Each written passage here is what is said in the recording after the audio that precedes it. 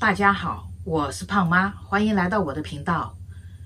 我先来给大家念一个网友的留言，呃，是这么说的：胖妈与胖爷的问题是总资产少，大部分又在胖爷妈名下，胖妈连个总数都不清楚。胖爷死后能留下一万就不错了，谁愿意老了又没钱又没朋友？儿子整天跟着奶奶住。与胖妈也亲不了，很失败的人生，看着都难过。看完这位网友的留言以后呢，我笑了。这位网友好像对我们家的情况是非常清楚啊。呃，在这里呢，我想给大家再一次说明一下，我在以前的视频也说过，我们家所有的东西，包括土地，还有旧房子，全部都在胖爷的名下。关于我儿子跟着奶奶住这个问题呢，我在以前已经说过了。以前我们是和胖爷的妈妈在一起住，我们在外地的时候呢，儿子在家里面上学。呃，这个旧房子呢是后来买的，是前两年买的。关于儿子跟我亲不亲这一件事情呢，呃，今天我可以告诉大家，在我们家里。只有我说话，儿子会听。为什么我说只有我说话，儿子会听呢？因为我给儿子讲事情的时候，我不会对他大呼小叫的，我总是心平气和的去给他讲，为什么他不能做，不能做的原因是什么，我去给他讲一些道理。当然了，我的英语水平是有限的，我是尽我最大的努力去教我儿子走一条正确的道路。呃，最起码我儿子。目前来说呢，他没有在走着他奶奶还有他爸爸的老路子。目前来说，我儿子是一个明白事理的小孩，他知道什么是正确的，什么是错误的。这一点呢，我儿子确实做的还是挺好的。呃，关于我儿子将来找女朋友这件事情呢，呃，我有和我儿子讨论过。呃，我确实呢，我有提醒过我儿子，呃，我不管你们怎么去认为我说这件事情哈，我今天呢，我就给大家讲出来。我告诉我儿子了，将来他到大学里面去找一个女朋友，他找女朋友呢有两个条件是不能找的，一大嘴巴，我指这个大嘴巴哈，指的是像我们家老太太这样的，有事没事总是会找事的。这样的是不能要。我告诉我儿子了，如果他找到一个和他奶奶一样的话，他一辈子别想过得平静。第二个，花钱如流水，自己还不能挣钱，然后还拼命的花钱。我说我儿子了，如果他找到一个女的像这样的话，他一辈子都要辛苦的去工作，而且还不会有一分钱存款的。这两个条件呢，呃，是我告诉我儿子的，找女朋友。只要沾上这两条，都是不能要的。我儿子现在已经十五岁了，他明白了很多的道理，他也知道我们家现在过的什么样的日子。呃，说关于这个吵架的问题哈，说真的，我和胖爷两人吵架的时候，几乎没有当着我儿子的面吵。这也就是为什么我和老太太在一起住了十几年，我一直忍让她的原因，就是因为我儿子在家了，我不想跟他吵。再说了，一个不讲理的人，你跟他吵能解决问题吗？没有用的。啊，有的网友说我不应该对老太太采取不理的态度，应该去呃跟他讲和缓和这个关系。在这里，我可以告诉大家。我们家老太太不是一个讲道理的人，她以前做错事的时候，我有去说过她，而且是心平气和的坐在饭桌上跟她聊天似的，我去说了她不该那么做。但是过后她又做了，你说她的时候呢，她只是保持沉默，她并不会因为她做过了一次、两次、三次的事情，她会停止。他会一而再、再而三的继续做着同一件事情，这也就是为什么我懒得去理他的原因。还有一个，我们家的老太太的嘴可不是一般人的嘴。我今天能在这里说出来，我是有证据来证明的。下面来说一说胖爷和我的事情。有的网友认为取消名字和遗嘱这两件事情，我闹离婚，小题大做了。呃，可以说这两件事呢是爆发点。我和胖爷之间，呃，说实话，这么多年也发生了好多的事情，我都是一直在忍让、退让的。先来说一说胖爷抽烟的问题。看过我视频的朋友应该知道，呃，胖爷在车子里面抽烟，我在吸二手烟。关于这一件事情呢，我和胖爷也不知吵了多少次架了。胖爷的妈妈不抽烟，只要胖爷的妈妈坐在车子里面。胖爷是不敢抽烟的，我也不抽烟，但是我坐在车子里面的时候，胖爷是无所谓的，他一定要抽烟。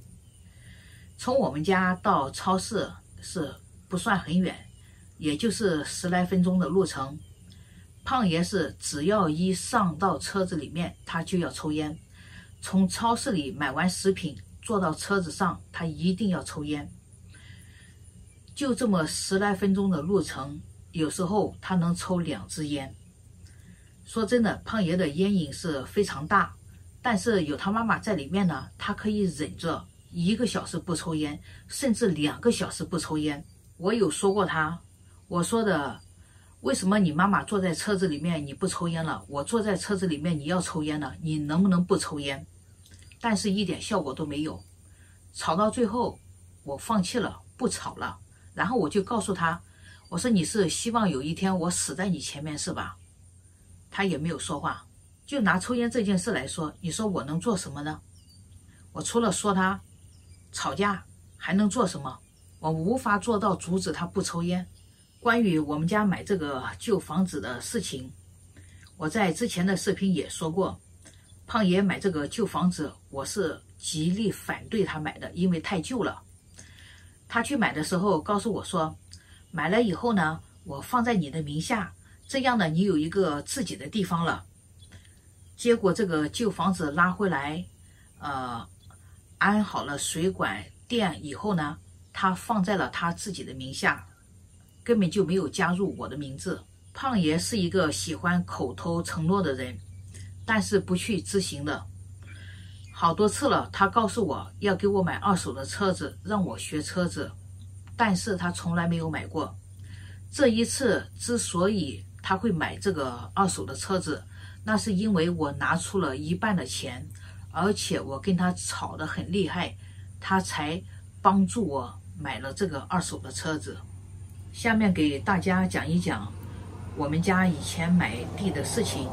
在以前的视频我有说过，胖爷呃以前没在家的时候呢，他在网上买了一块湖边的地。后来那块地呢卖掉了，因为涨水的问题。呃，当时他买到那块地以后呢，那块地上长满了各种各样的树，大树、小树，各种各样的。我和胖爷两个人，呃，用手还有电锯一棵棵给锯倒了。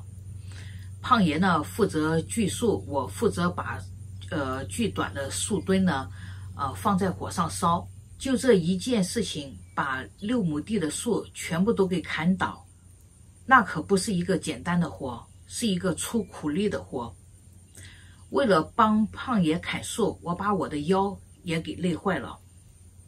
我在以前的视频有给大家看过，我有时候我这个腰痛的时候，我还要贴这个止痛贴。我这么样对他，但是胖爷怎么对我的呢？那块地他放在了他妈妈的名下。而不是在他的名下，他把那块地放在他妈妈的名下呢？他没有告诉我，我也不知道。我是在卖地之前才知道。胖爷之前是做柴油机工作的，后来那个公司每一个月给胖爷二百多块钱。如果胖爷呃将来去世以后呢，呃他的家人是可以继承的，也就是说儿子和我是可以继承的。开始的时候，胖爷是没打算给我的，呃，他是要给儿子的。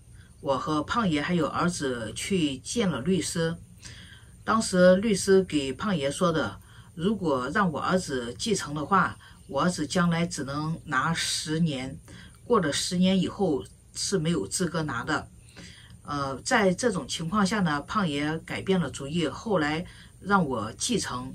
也就是说，胖爷走了以后，我是可以继承的，但是我只能拿到百分之五十。也就是说，胖爷的福利或者财产，他都是希望没有我的名字在上面。下面我给大家讲另外一件事情。曾经，胖爷为了他自己的利益，而没有去考虑我的感受。他让我去照顾一个呃老年痴呆症的病人。而且是免费的，我照顾了那个老年痴呆病人六个月，而且在没有拿一分钱的情况下，呃，以前我也想过离婚，但是儿子呢不让我离，所以说我一直在忍让、退让着，只是想给小孩一个完整的家。但是我觉得现在呢，呃，再继续这样下去的话，真的没有什么意义了。呃，说真的，这么多年，胖爷做了好多好多的事情，其实还是挺让人家伤心的。这里呢，我就不一一说了。可以这么说，胖爷做的任何一件事情，他从来不去考虑我的感受。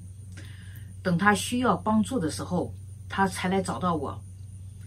他做任何事情的时候，在做之前哈，他会去找他妈妈商量，跟我是没有任何关系的。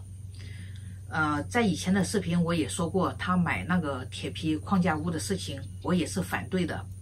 他跟他妈妈两个人决定的。等到他想卖的时候呢，他找到了我，在网上帮他卖那个铁皮框架屋。像大多数网友说的，嗯，我不工作，所以说呢，我就没有话语权。但是这么多年，虽然说我没有工作，我也不是在家里面呃闲待着的，不做任何事情的。像我说的，我们家出苦力活的时候，都是我在帮他，没有人帮他。虽然说我不工作，但我在努力的帮他省下每一分钱。我们住旅馆的时候，我找的是最便宜的旅馆住，而且我们每一个星期只有星期天才出去买一顿吃。吃的也就是很普普通通的，像麦当劳啦或者中餐，呃，都不是很贵的餐厅。我坐在旅馆里面，从星期一到星期六，我每一天都是做饭给他吃的。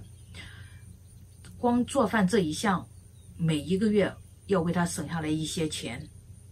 有的网友说：“啊，胖妈你就会抱怨，像一个怨妇似的。”我这个生活呢？确实和多数人是不一样的。我在以前的视频有说过，因为我们家的老太太是一直在参与到我们的生活当中来的。我也想过得快乐，但是我做不到，因为我的生活就是这样的，我没法去改变它。我和胖爷两个人之间的问题其实还是很多的。有的网友说，啊，你们缺少的是沟通。胖爷并不是一个可以沟通的人。跟他的妈妈一样，你可以给他讲好话，是不起任何作用的。胖爷呢，我也是跟他吵过好多次，也是不起作用。所以，我后来就保持了沉默，不理他，采取不理的态度，因为我不知道我应该怎么做了。好话说尽了不管用，吵架也不管用，我还能怎么做？只能保持沉默，不理他。好了，今天就和大家。聊到了这里，谢谢大家的观看，我们下次再见。